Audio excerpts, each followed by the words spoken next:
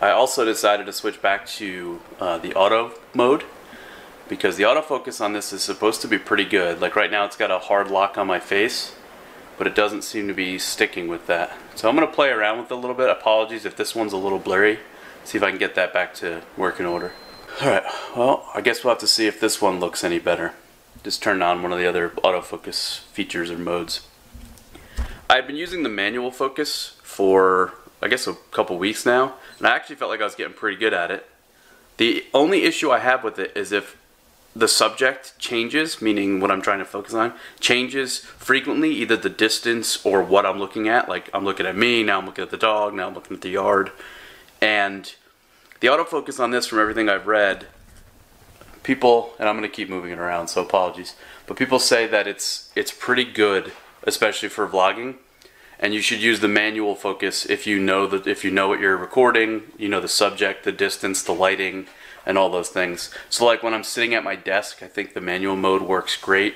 But right now in the kitchen, just kind of moving this thing around, you know, getting a whole bunch of different angles, some slightly different lighting, just doing a really good job of just tracking my face. So I'll try it on auto probably for the rest of the day unless I go out in the yard with Eli and, you know, see if it, see how it turns out, maybe compare it to yesterday's or the day before's. But something I just thought of this morning, I was like, yeah, let's try it. And then I was reading about it. People seem to really like it. It's it's pretty fast. It's not super fast like some of the high-end Sony cameras, but it gets the job done. About to have my first cup of coffee of the day, edit yesterday's content, which should be fairly quick. Uh, and then I think I'm to play with Eli. I've been working with him the past couple days on some of his obedience behaviors and just general training. And I'd like to work with him on the place command where he goes to his dog mat. So I'm to work with him on that command just to kind of proof the command, get him better at it increase the duration that'll stay on the mat so that he doesn't just jump up if the doorbell rings or something. He's actually pretty good with the command already, but it's just something that I can I know I can drill. That's a command that's that's valuable. And then I was thinking I might actually take him for a walk. So I'm gonna get to editing and then move on with the day. Out. Sit. Down. Watch. Yes. Right here. Out. Good. Sit. Good. Shake. Good. Down. Good.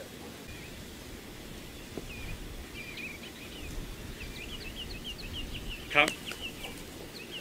Yes. Right here. Out. Good. Sit. Watch. Good. Good. Yes. Come. Good. Yes. Get it. Good. Right here. Right here. Back. Back. Out. Good.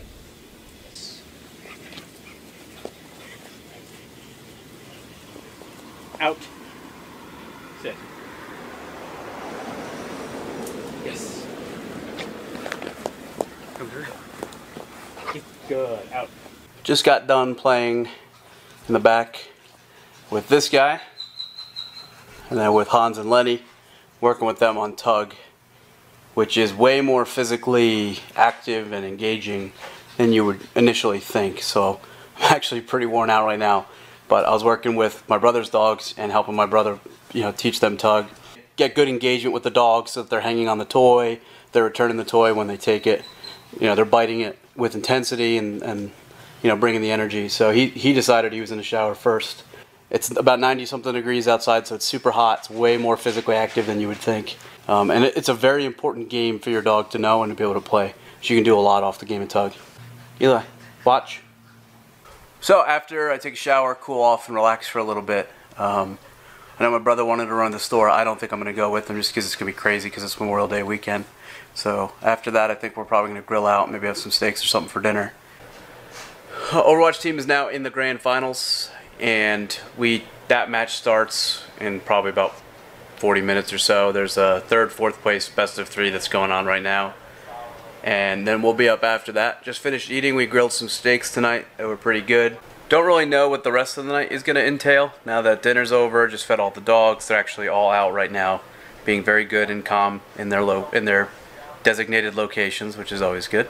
After our finals, the that'll be freed up and again, I don't really know what the plan is. So um, I might jump on the computer for a little bit, get some video stuff done, but I don't have anything that I need to get done today. There's no rush to respond to anybody or to get anything crazy done because it's Memorial Day weekend, so it ends up being a little bit more free time. Spent a lot of time the past couple days, maybe five, six days, uh, just brushing up on the dog training, dog obedience, that kind of thing, and that's why you guys have seen me working with Eli a little bit more.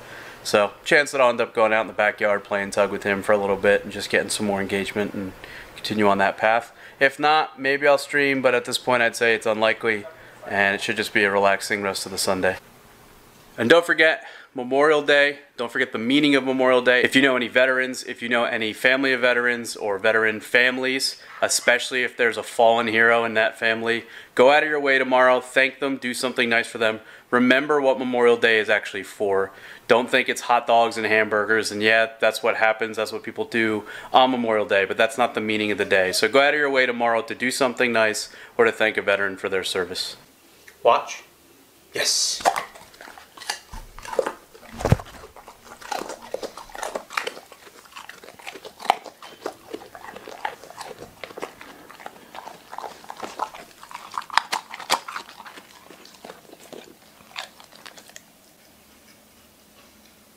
Watch.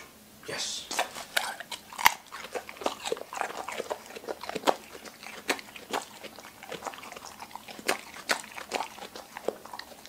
It is now 11, uh, about 11.30. Uh, I'm going to probably play on the computer for a little bit. I don't think I'm going to game at all. Just knock out a couple of things.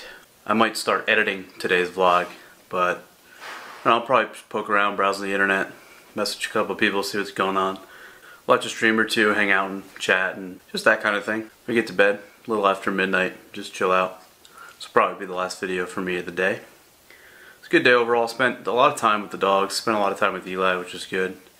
And yeah, just been really enjoying just kind of getting back into that world, working with the dogs, and you know helping to shape behavior, practices obedience, and today was a good day for that for sure. So probably do a little bit more of that tomorrow, and enjoy the Memorial Day. Don't have any like barbecues or parties or anything at this point right now planned to go to, so should be home most of the day tomorrow, I think but might take the dogs out for a walk and, and get some more time with Eli. You know, practicing on distraction, maybe take him to the field that's just right up the road. That's pretty much all I got going on. So, gonna wrap up the night, hang out for a little bit, and then get to bed. Probably a little bit before 1 a.m. Call it a night.